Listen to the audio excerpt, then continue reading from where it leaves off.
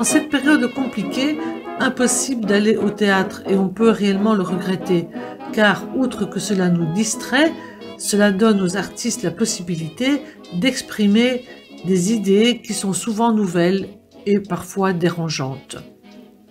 Une de ces artistes a particulièrement marqué les débuts du XXe siècle, la première mime féminine de son temps.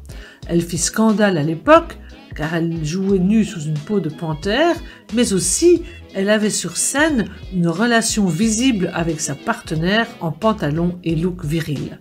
Mais qui était cette grande artiste? Était-ce Miss Tinguette, Colette ou Sarah Bernhardt? Vous avez sans doute reconnu Sidonie Gabrielle Colette, qui se produit à demi nue à l'Olympia dans la pantomime Rêve d'Égypte le 3 janvier 1907. À la fin de la représentation, elle embrasse goulûment sa partenaire à la scène et sa maîtresse à la ville, Mathilde de Morny, dite Missy. Elles avaient déjà choqué l'année précédente dans une pantomime La Romanichelle dans laquelle Colette se produisait nue sous sa robe de gitane, ce qui était interdit à l'époque, le corps devant être couvert d'un collant. Le scandale de Rêve d'Égypte est énorme, la pièce interdite à Paris, Colette doit se produire en province. Cultivant de solides amitiés féminines jusqu'à former une sorte de club, elle est entourée entre autres de l'actrice de la comédie française Marguerite Moreno, la plus âgée de ce groupe de femmes libres non conformistes dont les talents influenceront durablement les mentalités, les arts et la société tout entière. La plus jeune du groupe s'appelle Musidora. C'est évidemment un surnom. Elle a été révélée au cabaret, elle a fait ses premiers pas au cinéma à l'âge de 24 ans et elle est remarquée par Louis Feuillade, le réalisateur de Fantomas. En pleine Première Guerre mondiale, il lui offre un de ses rôles les plus importants, celui d'Irma Vep dans la série Les Vampires. Le mot vamp est d'ailleurs inventé pour elle car elle fascine les foules dans sa tenue hyper moulante de soie noire dessinée par Paul Poiret qui fait fantasmer toute une génération de cinéphiles.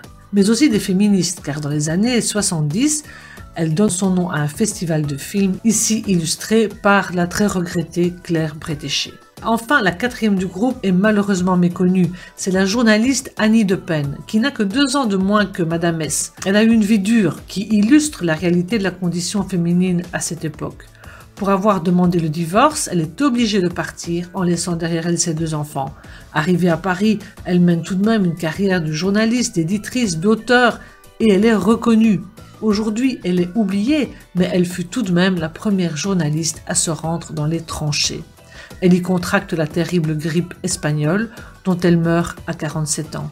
Mais c'est elle qui, la première, défendra dans la presse l'honneur de Meg au moment de son procès en assises, et pas face à n'importe qui, Face à elle, c'est la grande féministe Séverine qui, au lieu de souhaiter l'acquittement de Madame S, fustige son immoralité et espère l'avoir condamnée puis guillotinée.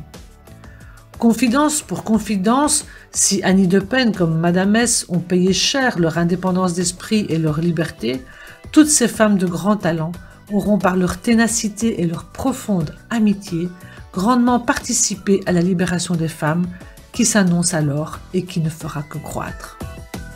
À bientôt pour notre prochain rendez-vous Confinette.